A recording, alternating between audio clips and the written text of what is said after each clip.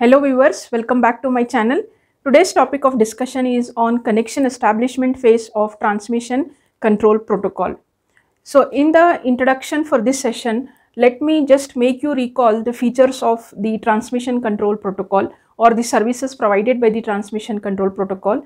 One of the feature that was mentioned, one of the service that was mentioned in the services list was what uh, transmission control protocol is a connection oriented protocol. So this aspect connection oriented I have explained in that session just trying to make you recall before we start sending before the client starts sending the data it wants to establish a connection with the server. So the basic idea here is like the client is asking the server I am are you ready to take the data from me then the server has to acknowledge that statement then the uh, client will say I am sending the data.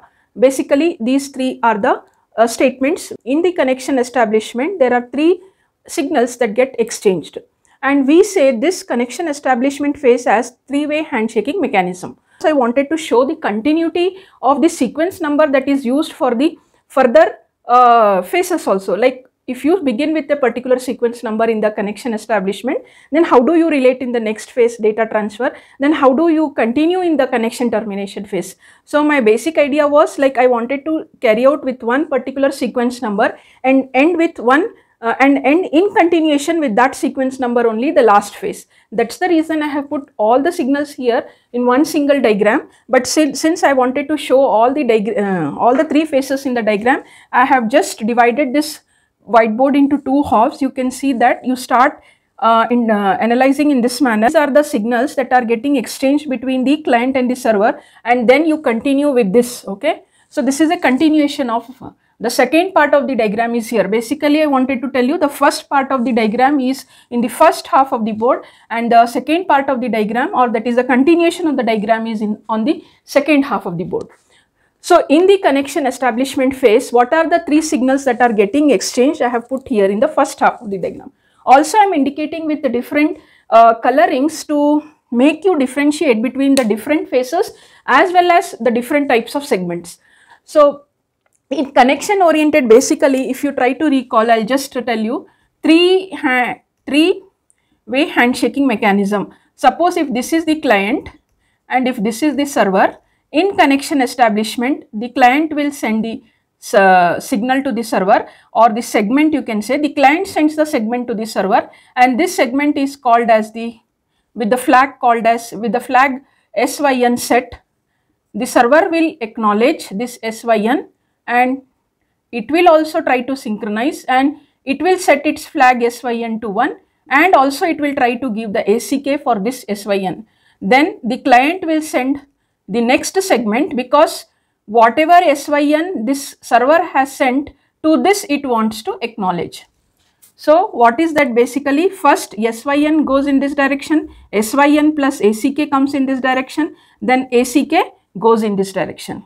So this is what I wanted to tell you. There are three segments that are from the client SYN, from, from the client to the server SYN, from the server to the client SYN and ACK and from the client to the server again ACK.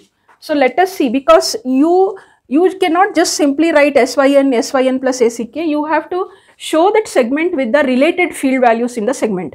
Now related field values are what the different flags that are there. You have seen six different flags. So if it is a uh, this one uh, segment that is which is not carrying the data it, it is a it is a segment belonging to the connection establishment phase. What is the related flag that has to get set here? So that has to get indicated here and also the acknowledgement and other field values that are required. So all those things also should get indicated in the segment basically. Now in this session you just try to concentrate from this part that is from the client and here I have drawn with a green line, uh, green color font a line. So this is your connection establishment. Also, I have written here in red color ink, this is the connection establishment phase. These three uh, uh, segments that are getting exchanged. So, in the connection establishment phase, you can see here I have written one passive open and towards the client side it is written as active open. Passive open, why are we writing is the server is basically what? It is always, the server is running, it is performing, it is providing the services. So, it is always on but whereas the client whenever wants to send a request to the server, it has to become active. So we say it is a active open at the client side whereas passive open at the. So server is already what you can say it is in the on state. It is in the functioning functioning state. Now the client is sending what? A segment.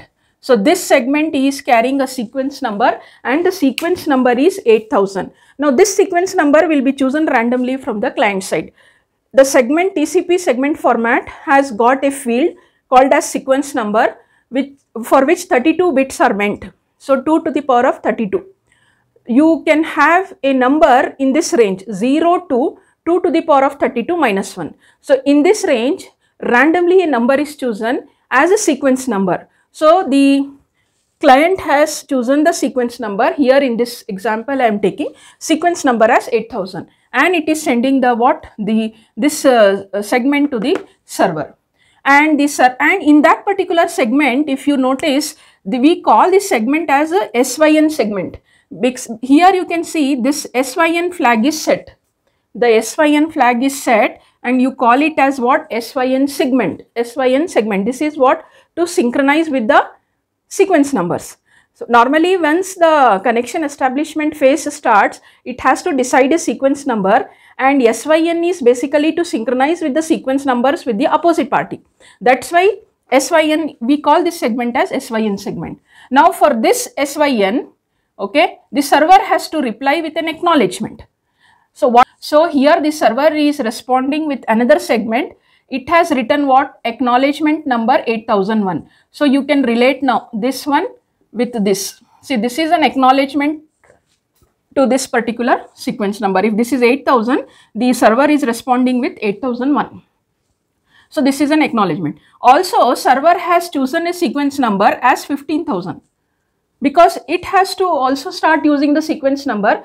In further uh, phases you will see how the sequence number values are changed. So it has randomly chosen the very first sequence number here as 15,000 and in its segment it is these values are mentioned. What is that the ACK flag is set, the SYN flag is set. Why these two flags are set? First and foremost thing is this is an acknowledgement to the previous segment which is sent from the client. So ACK, it is an acknowledgement ACK has to get set and it also wants to synchronize with the what the sequence numbers from the opposite party that's why it has set this SYN also and it is advertising its window size. So RWND receiver window size already I discussed in one of my previous sessions please refer in detail I have mentioned it is advertising what RWND the receiving window size its capacity the buffer capacity. So that's why here it has just for the in this example it is mentioning 5000 bytes.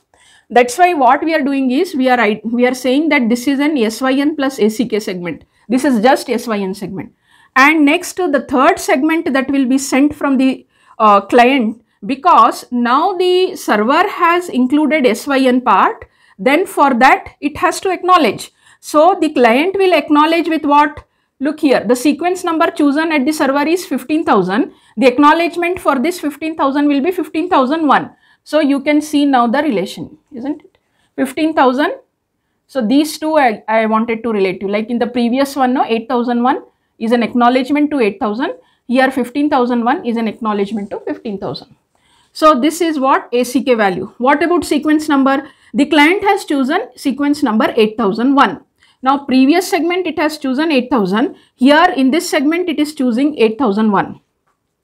Now here you have to remember uh, two or th yes three important concepts a segment which is not carrying data a segment which is not carrying data that is a SYN segment which is not carrying data will consume one sequence number. The meaning of this sentence consume one sequence number is now if 8000 is used as a sequence number it will not be used in the further segments. It is already consumed now. You cannot use again 8000 so that means a SYN segment which does not carry any data will consume one sequence number. And you have to remember the second important point, a SYN and ACK segment which does not carry data will also consume one sequence number. Now the server has used what? 15,000. So once again it cannot use 15,000. It is already consumed.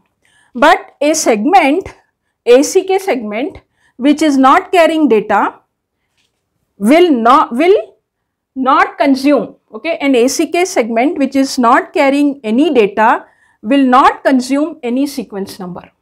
So this is what I wanted to tell you 8000 cannot be used again but 8001 if it is used here even in further segments when it starts the second segment it can make use of 8001. The reason is this is an ACK segment. An ACK segment which does not carry any data okay an ACK segment which does not carry any data the sequence number will be what reused will not get consumed means it can be reused. That's the reason we'll see how it will be reused. Now basically you have to remember in the connection establishment phase these three segments. So we said three way handshaking mechanism. So here towards your left it i have shown this exchange of segments over a timeline okay? At the client side you can see the client process and the client transport layer. At the server side you can see the server process and the tra server transport layer passive open will be there because the server is always running. Active open the client wants to make a request to the server because the client is interested in sending some data to the server. Before that it is trying to establish the connection. First one segment will come from the client to the server. The server will respond okay the next segment. Then once again another segment will come from the client to the server. Now I have explained very clearly what are these segments called as. The first one is called as SYN wherein the sequence number will be consumed. Okay it cannot be reused. The second segment from the server which is coming SYN plus ACK anytime SYN and ACK without data will also consume one sequence number. And ACK okay will not consume any sequence number. That means this 8001 can be reused in the next segment. So and also to make it very clear the distinction between reuse uh, the uh, sequence number can be reused and cannot be reused I have indicated with some red color font here. This red color font indicates the sequence number cannot be reused. It is already consumed. Whereas this green color indicates the sequence number which is mentioned in this segment can be reused. So at this point what? The connection establishment phase ends. This is just the connection establishment phase. Next, what is the next phase? Because once it establishes the connection, it will start sending the data. So, this is all about the connection establishment. In my next session, I shall explain you about the data transfer phase. Hope this session is useful to you all. Thank you. Bye bye. Take care.